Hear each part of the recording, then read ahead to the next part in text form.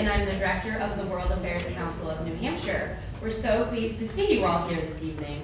And for those of you that aren't familiar with the council or our members, we're dedicated to fostering learning, discussion, and citizen involvement in world affairs around the state through educational programs like this one, and our International Visitors Program, which brings nearly 300 emerging leaders from around the globe to New Hampshire each year. It's never been more critical to ensure our communities are globally literate, and we are giving you the tools to learn more about your world. Our headline speaker series, Free and Open to the Community, is one of those opportunities. This spring, we're tackling global tipping points, from Africa to Russia, from poverty to security, with three experts on world affairs. We would also like to invite you to check out the back of your blue program for other upcoming events including a visit from the Estonian ambassador discussing the country's first year in the tumultuous Eurozone, a discussion about Africa's political emancipation beyond aid and dependency, and the keystone of our year, the Global Forum. This year, Senator George Mitchell, former U.S. Special Envoy for Middle East Peace under President Obama, will be joining us for this fundraiser, taking place on Monday, April 23rd. Tonight, we'd like to thank those that make this critical work possible, especially our co-presenter of this series, UNH Manchester, and its History and Humanities programs, and our series sponsor, Amoskeag Airport Service. But in order to continue connecting New Hampshire with the world, we need your support. Please consider joining the council as a member, if you aren't already, or making a donation in the box at the back of the room. Every dollar makes a difference. Now I'd like to introduce the guest for this evening's presentation on enterprise solutions to global poverty. A man who's been described as a visionary and is credited by the president of Rwanda as making the country among the safest and cleanest nations in the world since 1994. Michael Fairbanks began his global engagement as a Peace Corps volunteer in Kenya and followed with development projects in more than 35 countries since. He's founder and chairman emeritus of the OTF Group, a strategy consulting firm based in Boston and the first venture-backed U.S. firm to focus on developing nations. He also co-founded the Seven Fund in 2005, which is a philanthropic foundation based in Cambridge, run by entrepreneurs whose strategy is to produce films, books, and original research to markedly increase the rate of diffusion of enterprise solutions to global poverty. He has been a senior advisor since 2001 to the president of Rwanda, and he co-authored Harvard Business School's landmark book on business strategy in emerging markets, Plowing the Sea, Nurturing the Hidden Sources of Advantage in Developing Nations, and edited In the River They Swim, Essays from Around the World on Enterprise Solutions to Poverty.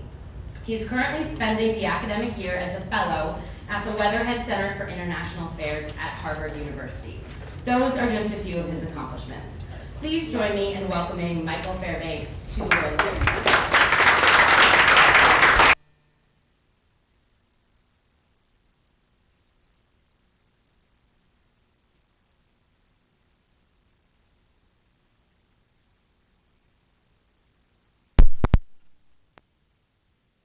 You to interrupt me right from the very beginning, you know, kind of push back a little bit. If you want to go this way, you know, talk about China's role in developing countries. If you want to hear about the miracle of Rwanda, which has lifted, a, announced last week, over a million people in the last 36 months out of poverty in one of the world's smallest and most remote countries that's a really fun story to talk about. If you want to talk about U.S. foreign aid and what it's doing around the world, uh, I'm a pretty severe critic. I get very dour and unhappy very quickly when we talk about foreign aid. Um, and if we just want to talk about the kinds of things that you can do when you travel, when you study the world, uh, to try to make it a better place, we can go in that direction. So let me just start off with a few basic definitions and maybe a little framework that we can do. Oh, I'm sorry. If I hold that a little bit closer, that works? Okay, sorry about that. Do I need to repeat anything I just said? That's okay. Um, so I'm highly interruptible, and I think we can customize this to the, the tastes and the needs of, of the group if, if we want to do that. But first, let's just talk about poverty. What is poverty? You know, there's lots of ways to define it. And if you brought in the world's greatest economists, if you brought in the top 50 people at the World Bank, and you gave them a survey and asked them what is poverty, I guarantee you they wouldn't agree on, on how to measure it, what it is, you know, what it looks like when you see it. Uh, and so it's very important to have a few working definitions of poverty. So just in an effort to engage you from the very beginning, does anybody want to just sort of shout out or help me with a synonym for poverty or a very simple definition of it? Uh, you know, what's poverty? What does it look like when you see it? Hopelessness. Hopeless. Ooh, you, see, you got right. That's my kind of final answer, and you just just kind of destroyed my whole riff on this. Maybe we'll go back to the lecture format and forget about the.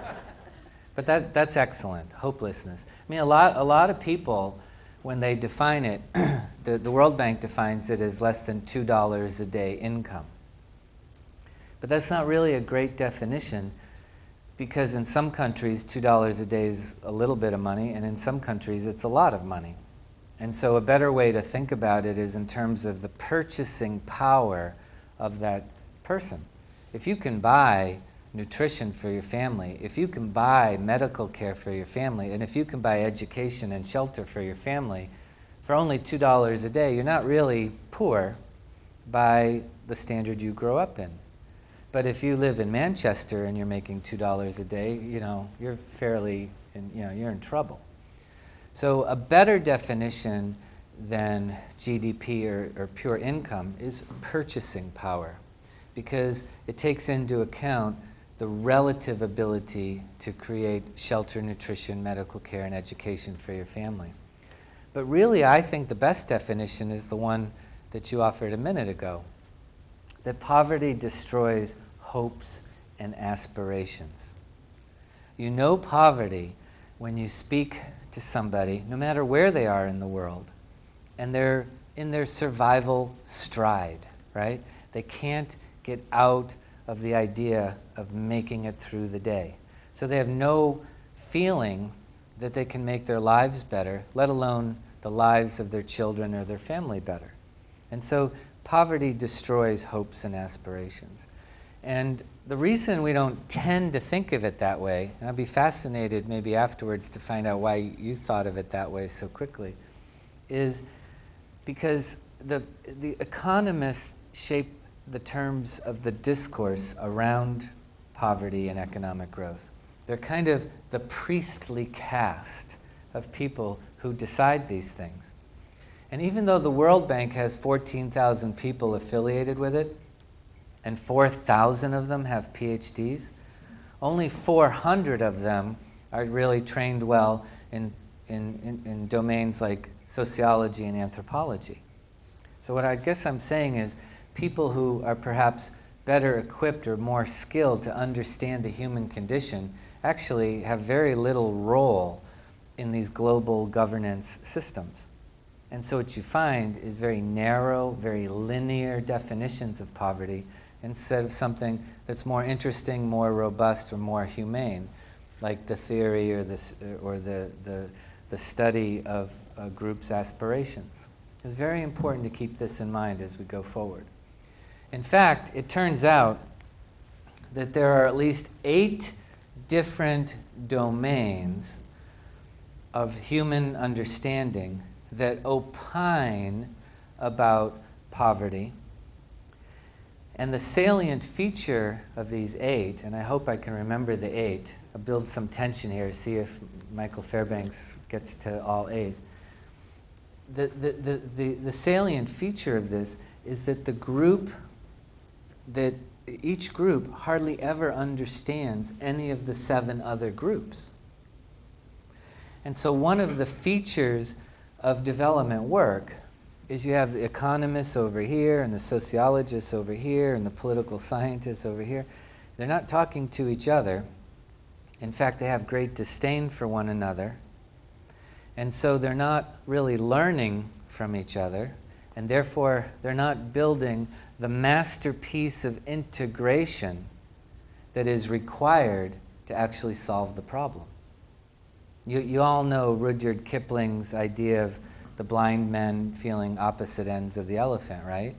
You know, the idea that one blind man is in front of the elephant, he feels the trunk of an elephant, he says the elephant is long and squirmy and fleshy, and another blind man is feeling the tusks of the elephant, he says an elephant is hard and sharp.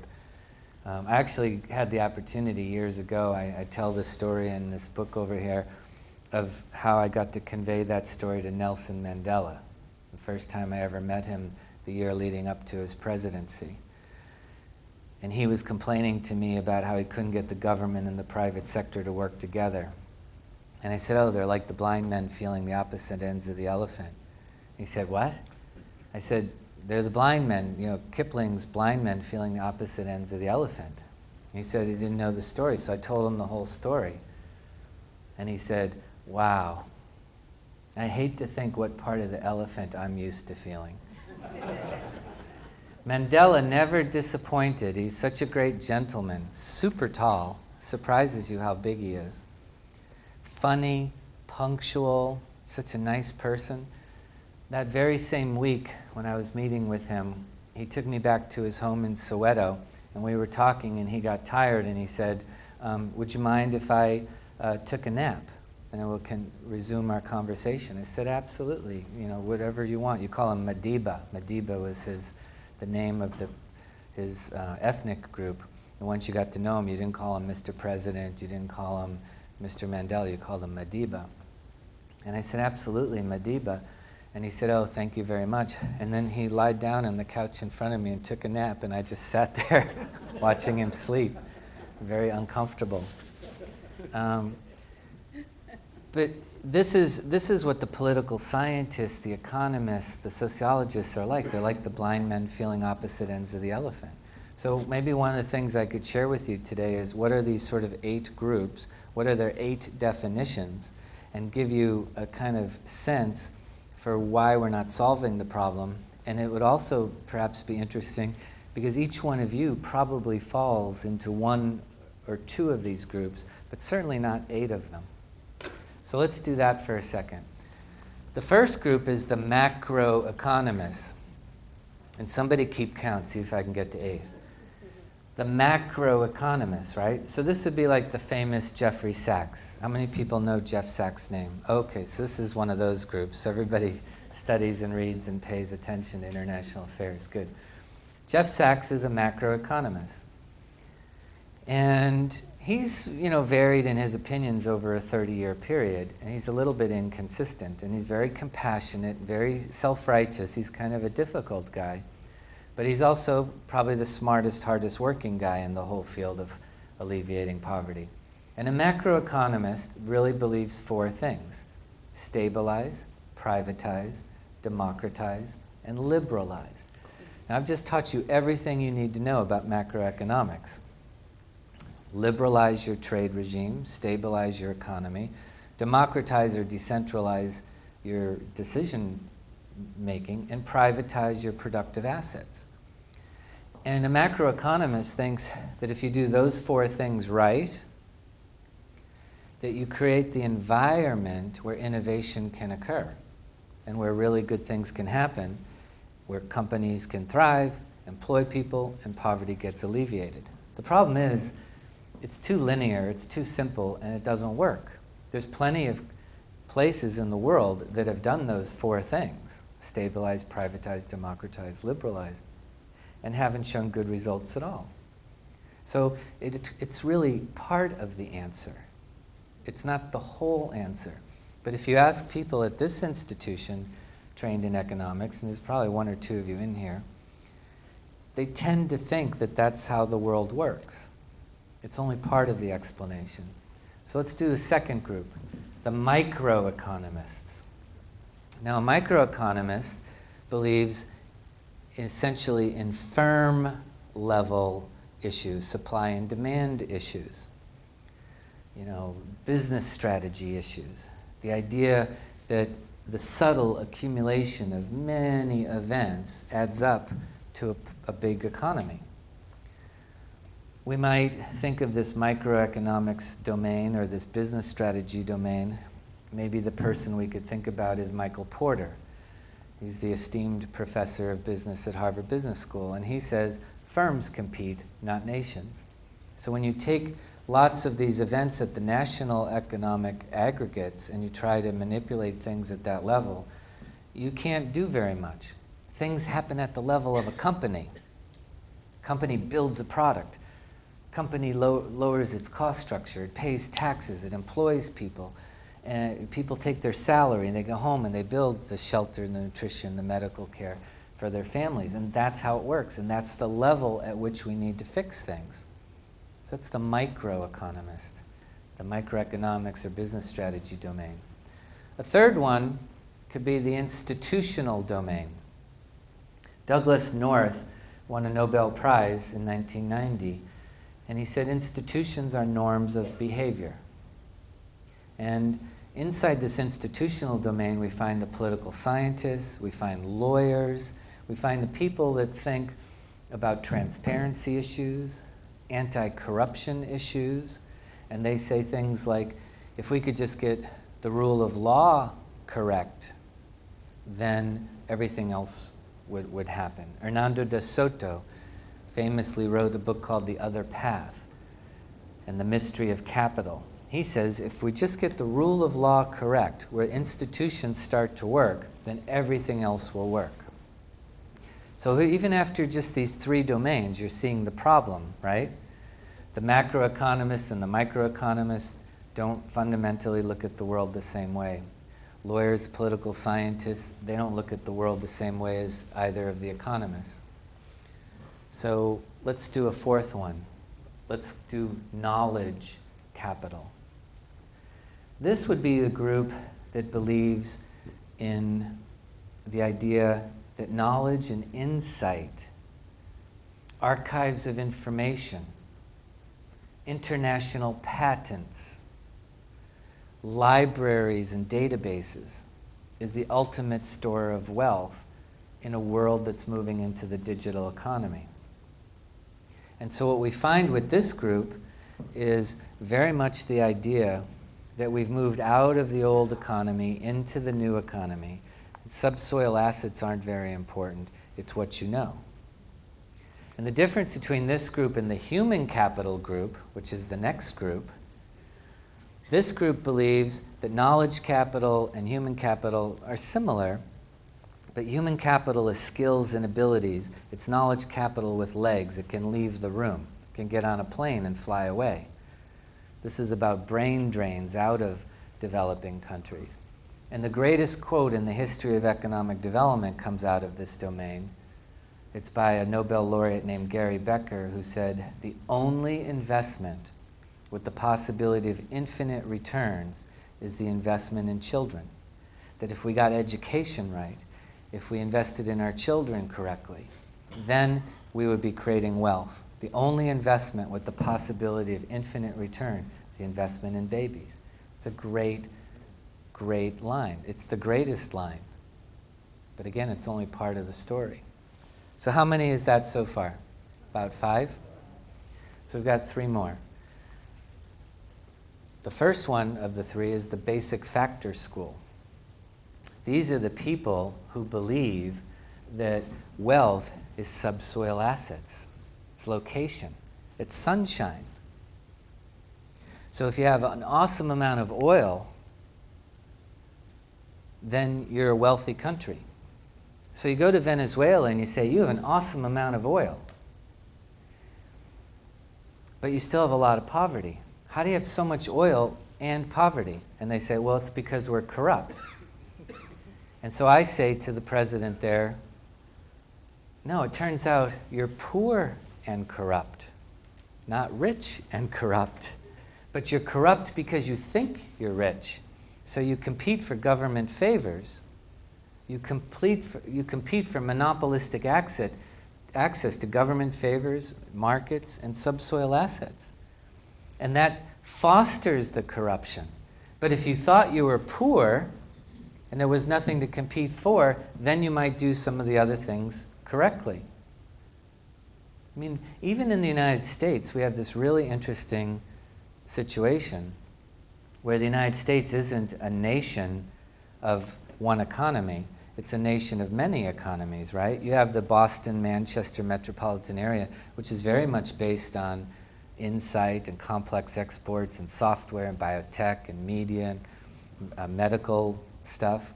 Almost anything we sell from this region globally, you can bounce off a satellite dish or it can buy a ticket and go on an airplane and go sell consulting services, right? And yet you go to West Virginia, you go to Montana, you go to Oklahoma, go to Louisiana, all they have is subsoil assets, and most of the people are poor.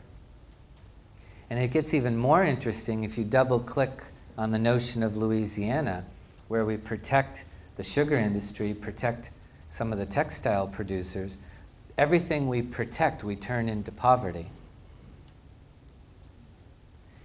And I was advising the president of Brazil once in a World Trade Organization negotiating round with America, and he said, Tell me why you keep insisting that you want to help the poor countries of the rest of the world, and then you protect American industries where we can compete and eradicate poverty. And I said, No, no, no, turn it around. When you say to the American, don't go to the Americans this, and say, stop protecting these valuable industries in which we can compete and finally eradicate our own poverty. Don't say that. Americans don't wake up every morning worried about Brazil. Most people don't, in America don't know where Brazil is. We're still going to go on vacation this year no matter what happens in Brazil. We're still going to wake up on Christmas morning and give each other presents no matter what happens in Brazil. The sentimentality argument won't work. When you see the President of the United States say, We're very interested in Brazil in why everything you protect turns into poverty in that region that you protect the textile workers in the South and they become poor. You protect the sugar workers in the South and they become poor. When in fact, competition fosters innovation, competition spurs human initiative, and America is a great role model for that when it comes to Silicon Valley, Route 128, our entertainment industry. Why do you insist on creating poverty in your own country? That's the question you ask the Americans. And that's what will get them to begin thinking about how to not protect those industries anymore. So Brazil, with real cost advantages, can compete in those sectors and, and create a better situation. Number seven, the human science domain. The human science domain. We did human capital and we did knowledge capital. But there's a domain that I call human science.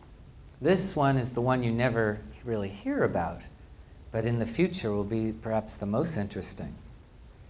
What's a human being, right? We have stereoscopic vision, so we have depth perception because we have both eyes are slightly off kilter. We have opposable thumbs, so we can make tools and hold things. We are bipedal, and we stand erect so that we can move around and use our arms to hold things at the same time.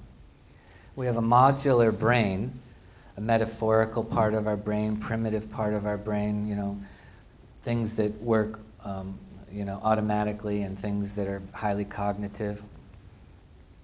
And because we're so unique compared to any other animal, we produce a unique sort of economics, of cooperation, of tool making, of long term planning?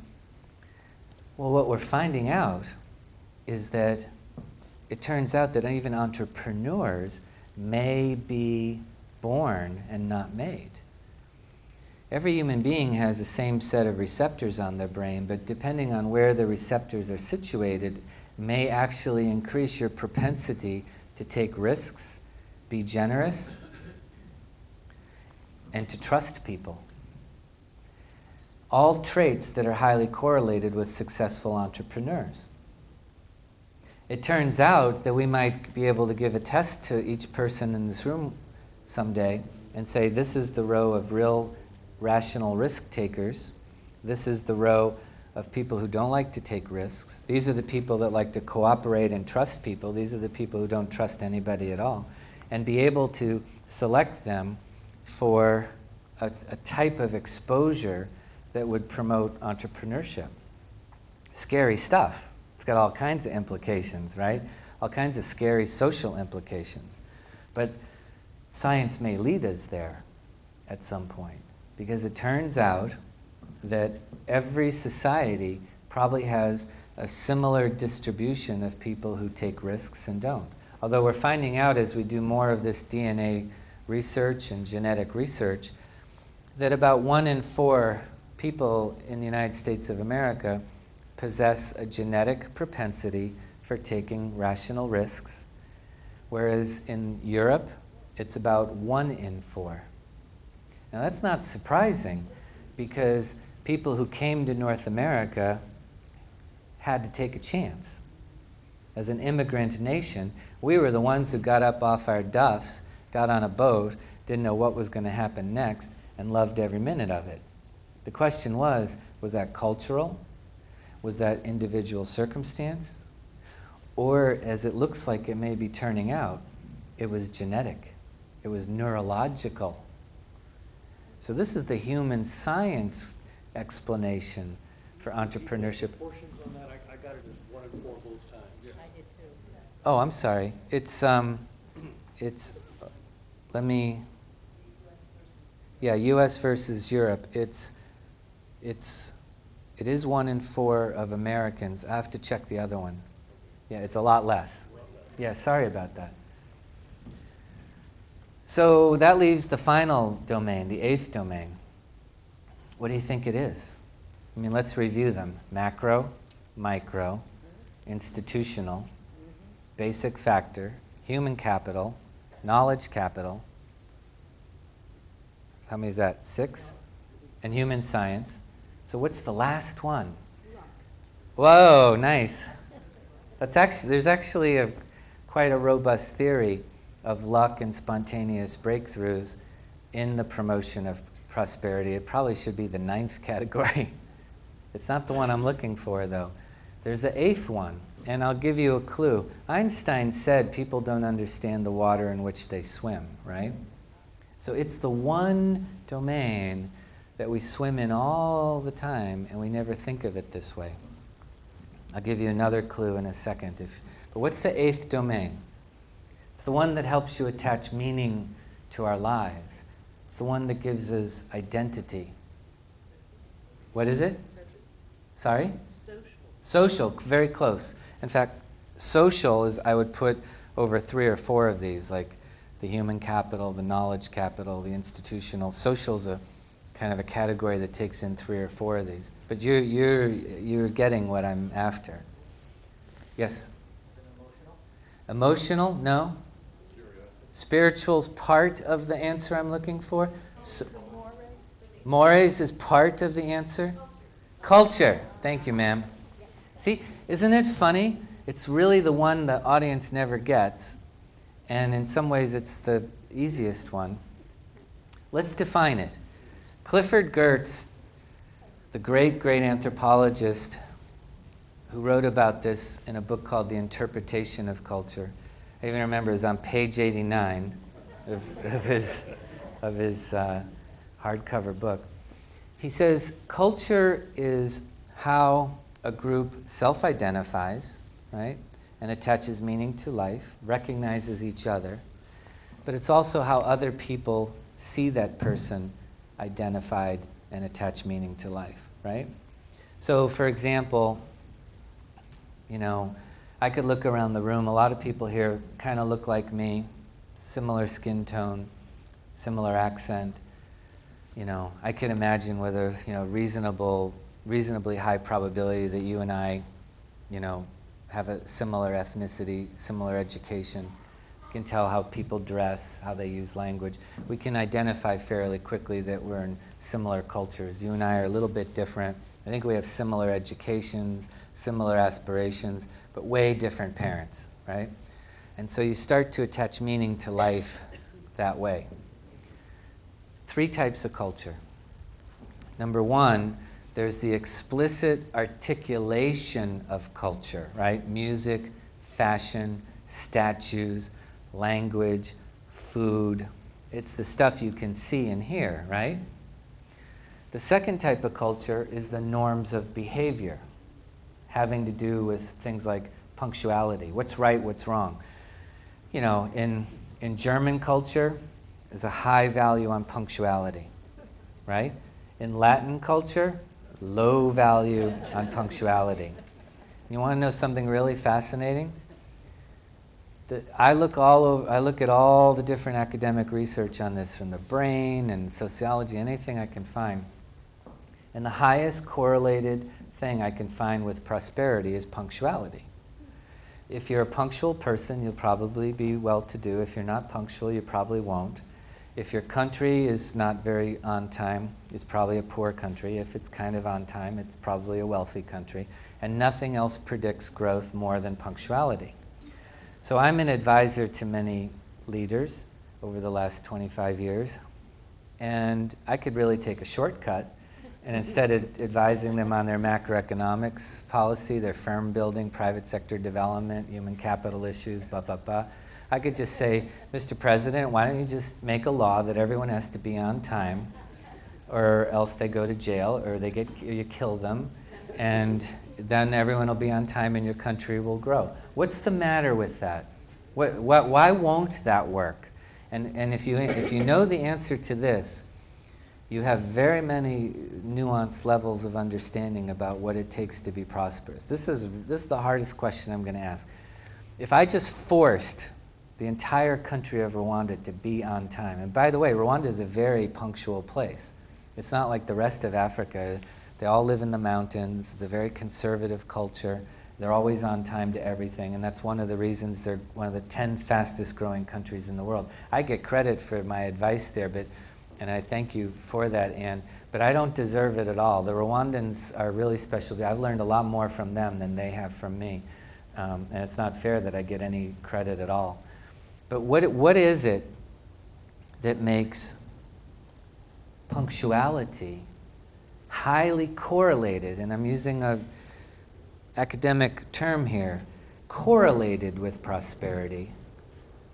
And yet, if I made everyone be punctual, we wouldn't have a prosperous country. The efficient use of time. Excellent. That's part of it. No, I want more. I want more. That's, that's really important. Yes, ma'am. Punctual for what? Um, If there are no resources, you can be on time, but for what? That's way deeper than I wanted to go. That's so deep. Uh, now I'm not even going to be able to go to sleep tonight. It's because they, they make it important to be on time. Yeah, they attach value to that. But it's also organizational. I mean, when you're, when you're punctual, you know how to organize your Nice. life to get, yeah. Excellent, excellent. I want to keep going this way. Yes. Yeah, and punctuality kind of represents. Um, Oh, you're going to get it. a Oh, the youngest person in the room is going to get it. It kind of represents an enthusiasm or a will Nice. to be there. Nice. And if you make people be punctual or on time, it's kind of taking away that enthusiasm. The key word you used is represents. And I want to go ahead. I think we thrive on diversity. And I think if everybody's punctual, Oh, that's interesting. we're missing something. How would you know? Because everyone's the same. that's way too deep, also. And that's funny.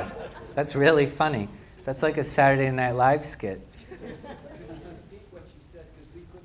She, she said that um, it's what punctuality represents, and she offered the illustration of enthusiasm, but I would say that's even more, it's, the key word is represents.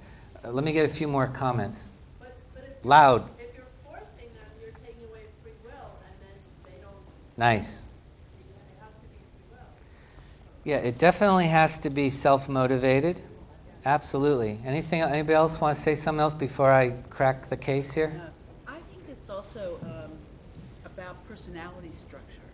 Mhm, Um, mhm. And that. You were a psych major, right? It's a personality structure, and- and, and I think some Loud. of these things are cultural. And, and, it- and as you said, like in, in certain places, people, you know, uh, operate in a particular way, other places they don't. And I think it's an internalized sense of the way Nice. the world works. Nice. I mean, that's what I think. No, that's excellent. I even like the way, the exact way you said it. Internalized sense about how the world works. So you may see that in writing pretty soon, and you'll receive no credit whatsoever. Um, it, it, it's a really smart way to put it. More. Represents. It represents commitment. That's good. What else does it represent? Let's use the word that this young lady said. What else does it represent? Respect. Oh, I think we're on to it now. I think when you say the word represent, it gave us this. Okay, what else does it represent? What commitment said right here, over there. Respect, respect for other people's time, self-respect. What else? indicates an expectation that there will be value when you show up on time. Oh, that's really good. I'm definitely stealing that one. I never thought of that one before. That's re- Marty, M-A-R-T-Y. that's good. That's right. Yeah, yeah. Let me just write that down, Marty. Yeah. Um, excellent comment. Th- this is the, this is the way to think about it.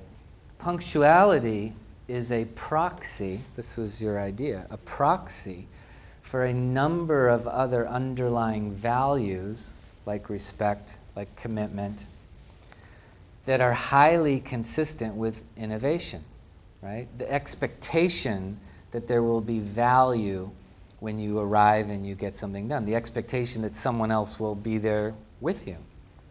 I love that. That's it never came up before. It's the idea that you see the time value of money. It's the idea that you look into the future, that you respect other people's time, that you have this expectation, commitment, self respect, and respect for others. See, punctuality per se means nothing. If I can force it, as this lady back here indicated, if I force it, it means nothing.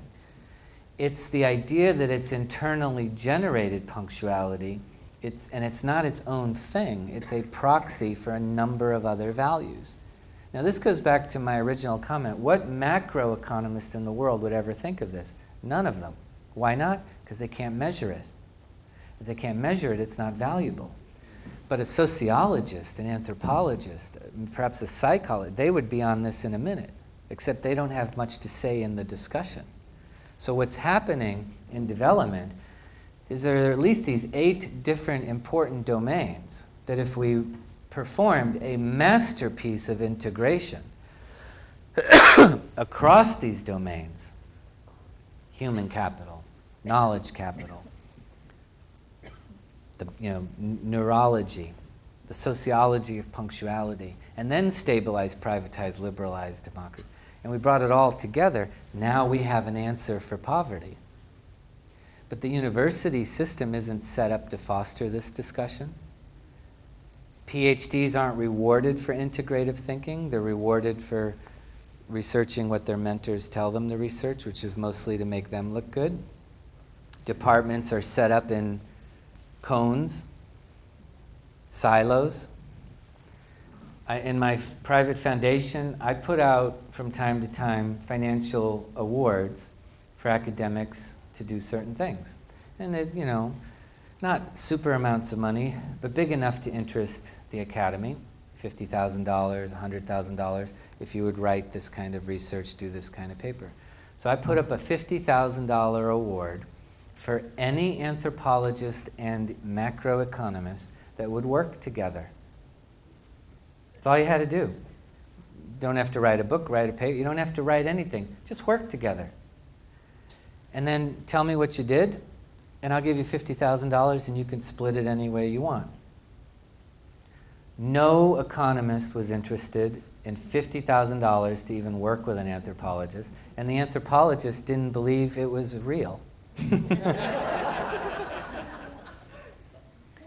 because that's not how the academy works.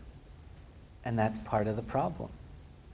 So, what we need to do in a place like this is to train people in these domains, but, but incent them to break, when they finally have mastered the domain, to break with it and take their toolkit from one domain into another domain and see what they come up with. And I think my whole career, I don't, I don't have a PhD. In fact, I, I have three degrees, and this might explain everything. I have a degree in philosophy from a Jesuit university, I have a degree in biochemistry, and I have a degree in African politics. And then I gave all that up and I went into banking. and And so I don't have an allegiance to one domain, so I could take the best ideas wherever I found them and try to put them together. And that's how innovation occurs. In fact, the notion of genius, as explored by Howard Gardner at Harvard, is the idea of taking a toolkit from one place and applying it to a new field. He even suggests that the great geniuses in human history were either born in a rural area and moved to a city, or they were born in a city and moved to a rural area. That they grew up mastering one language and then wrote in a different language. That they trained in one domain and then solved the problems of another domain. And we're even seeing that with Nobel Prize winning economists now, where they're not actually economists anymore. Several of them have come from the domains of psychology over the last 15 years. It's very interesting what's going on. This is how poverty will be solved. Ma'am. If money is not uh, a sufficient incentive, and you can only speak to so many groups of people and use your powers of persuasion, what becomes the incentive to make these people work together and solve the problem? The way, I mean, there's lots of theories of change, and I have two theories myself of how the world will get better. One is intergenerational change, where this young woman, how old are you? 17, oh my gosh. It's like bedtime for you. 17, I had no idea you were that young. She's going to think differently than I am automatically. She probably reads less books than I did. Maybe not. You seem kind of smart. Maybe you read more. But her generation reads less books than I did. And, the, and they learn more from uh, social media, from uh, you know, video games, from travel, and things like that. So she already has different attitudes and values than I do. There's an intergenerational difference. And a lot of good will come just by allowing subsequent generations to think differently, automatically. But the other way that change occurs is through crisis. I mean, it's not a coincidence that Rwanda grows at 10% a year, that wages in the export sectors are growing at 30% a year, that there hasn't been a break in in the entire capital city of Kigali in seven years, which is a lot more than you can say for the neighborhood we're in right now, probably. And this is the middle of Africa with no raw materials, no navigable rivers. You know, uh, y- you know, this is an amazing place. It's probably the great, greatest country in the world right now, in, in my view.